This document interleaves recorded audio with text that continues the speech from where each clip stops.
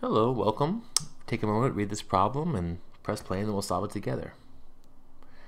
Okay, they want to know what is the solution to the system of equations y equals 3x minus 2 and y equals g of x, where g of x is defined by the function below. Okay, so they, they give us this linear equation, 3x minus 2, and we can, we can draw it here to get an estimate of what's happening. So let's do that real quick.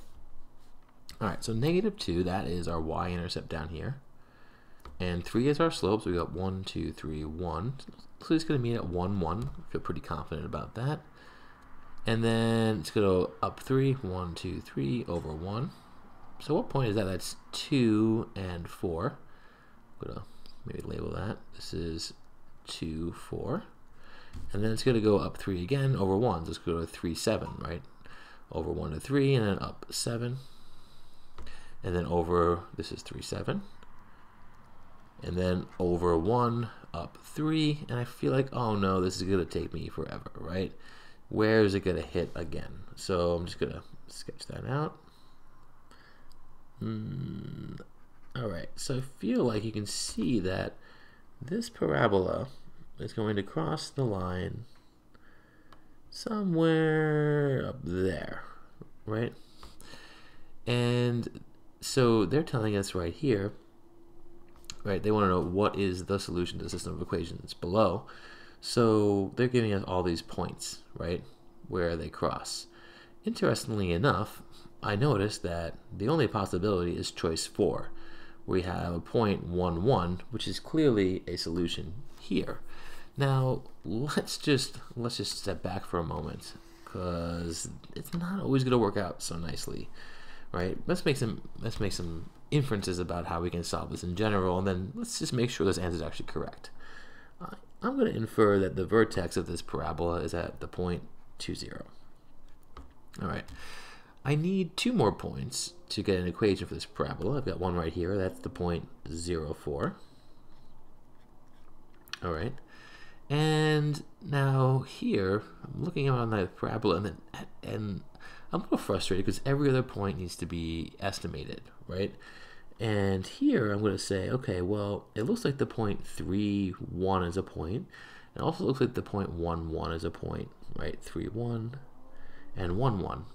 So we, we have to make some assumptions here that these points are correct. And I, I, I guess I can't think of a better way to explain why those points are going to work. Um, but the idea is now that we can come up with the equation for this parabola. What I would encourage you to do, and perhaps the most efficient way of doing this, is enter these three points on your calculator, plug it in, and that will generate the equation for the parabola. You can also think of a translation, a transformation of the parent function here, which is just y equals x squared. So if you had a parabola here, kind of same parabola, drawn not the best by me, and then shifted it to the right twice, that would mean you'd have to do, um, you'd have to subtract 2 from the input. So instead of just x squared, it's minus 2 squared. So this is a potential equation as well for g of x, and we can try that out right now. If I plug in g of 2, I should get 0. That's my output here. And 2 minus 2 is 0 squared, and I get 0. So I plugged in 2, I got 0. If I plug in 0, I know I should get 4. g of 0 is 0 minus 2 squared, so that's negative 2 squared, which is 4. So g of 0 is 4. That means if you plug in 0, you get 4. So this point checks out, and so does this one. If I plug in 3, 3 minus 2 is 1, and 1 squared is 1. This formula also works nicely. It's a translation to the right. Remember, you subtract from the input to make the function move right. Of the parent function, let's call it f of x equals x squared. So you can look for a transformation, but but if the transformation is not working out nicely, or or if it's some if it's if it's a parabola that's a little more bizarre, you need either a system of equations or uh, regression on the calculator to solve it. So let me show that really quick, and then this might be overkill for this problem, but I want you to be ready for any problem they can throw at you. So let's do the system, let's do the calculator, and we'll see how this works. So I'm going to do the system first. Now this, if you have three points, and you have ax squared plus bx plus c, this is our standard form of our equation, we know some things about this equation. We know if you plug in 0 for x, the output is 4. So if I have some coefficient a times 0 squared plus b times 0 plus c, I know that the output is 4. I also know if you plug in 2, you get 0. So a times 2 squared plus b times 2, if x is 2, plus c, I get 0. And I know if I plug in 3, I get 1. So a times 3 squared plus b times 3 plus c equals 1. Now, I'm going to look at the first equation because 0, a times 0 squared is 0, b times 0 is 0, so c is 4. So now we know the c part of our equation, ax squared plus bx plus 4. And that means in these two spots right here, instead of just writing a c, I could write a 4. And now I have a system of equations with two variables that I can solve. The first equation is just, this is a times 4 essentially, so 4a plus 2b, and I'm going to subtract the 4 over here, equals negative 4. My second equation becomes 9a plus 3b, and I'm going to subtract the 4 over to get negative 3. I didn't have to subtract these 4's over, I just think it looks cleaner. Now, when I have this set up, what am I going to cancel out? I'm going to cancel out my b's first. How am I going to do that? I'll multiply the first equation by 3, so I'll get 4a times 3 is 12a, 2b times 3 is 6b, and then negative 4 times 3 is negative 12. And if I multiply my second equation by 2, I get 18a plus 6b equals negative 6, and then look what happens. I've got two equal terms, so I could just subtract them out. That will cancel those two terms out, and I get negative 6a equals negative 12 minus negative 6 is negative 6. Same thing as negative 12 plus 6. And a is 1. So we've got a. And we can find b by plugging it back into any of these equations here. I feel like uh, I'll use this equation right here. And that tells me that 4 times 1 plus 2 times b equals negative 4. So 4 plus 2b equals negative 4. Subtract 4 on both sides, and 2b is negative 8. So b is negative 4. And we've got a, b, and c now, right? So we have 1 times x squared, ax squared, plus bx. So I'll just write 1x squared minus 4x plus c is 4 equals 0. And if we factor this, this is x minus 2 squared equals 0 which confirms or matches our transformation equation from before. And g of x equals x minus 2 squared.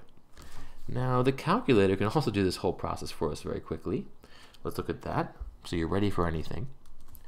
And I have some old stuff on the calculator, so I'm just going to go to, um, actually, I'm not going to go to y equals, quit out.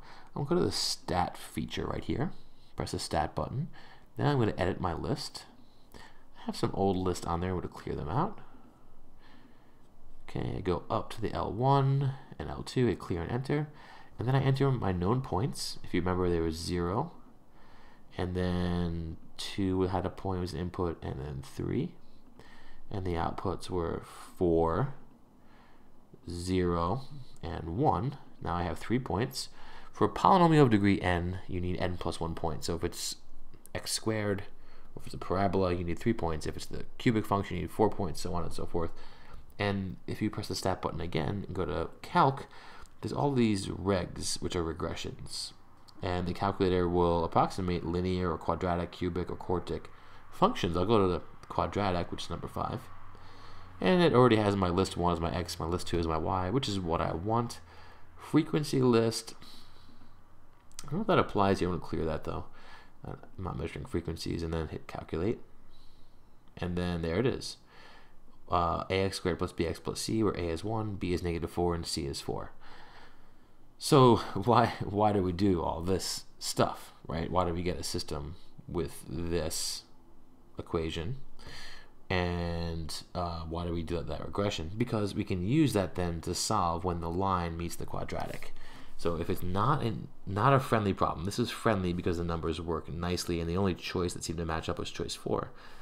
But suppose it wasn't, right? Well, then what you would do is you would say, well, I have this equation for my line, and I have this equation for my quadratic. I want to know when they're equal to each other.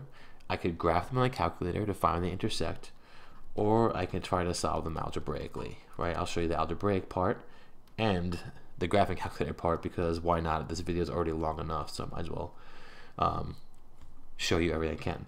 So here we subtract 3x and add 2. So we get 0 equals x squared minus 7x, and then 4 plus 2 is 6. And then we, that factors x minus 1 and x minus 6. So these two things, the, the line and the parabola are equal when x is 1 and x is 6, right? And we can plug in 1 and 6 to either equation. I'll plug it in here. 1 minus 2 is negative 1 squared, so 1, 1 is the point. And then I take plug in 6. 6 minus 2 is 4, and 4 squared is 16. So that's the algebraic process, which matches our solution here. But also on the calculator, if we go to y equals, we have our equation for our line, x minus 2, close parentheses, squared, and then, what was that, 3x minus 2, 3x minus 2, and I press zoom 6 to get a standard window to see when they're going to meet. There's my parabola. Oh, there's the line. They intersect off the window, so you can't do the intersection unless you have the appropriate fit. So you can go to zoom fit, but I like pressing window because I can customize the y min and y max. I'm going to go to y max, say 25. I, mean, I know it's 16, but assume we don't know that, right? There's my parabola. There's the line. I hit second trace. Choice 5 is for intersect. And I'm hovering right now here on the parabola. They're calling it my first curve. Hit enter. Then I jump to the line. I hit enter again. Kind of scroll near the intersection point. I'm going to guess, hit enter. There's my first intersection. Then I repeat the process. Second trace, intersect. This time I'm going to go near the intersection point I want to find. Pretty close there, I think. Okay. Oh, and this calculator program froze. Oh boy. Well, if I hit enter, it would jump to the line, and then I would scroll over to the point, enter again, and I would see the next point, which is 616. All right, so I said a lot in this video, but I, I want to make sure you're ready for any kind of parabola that they could throw at you. Thanks.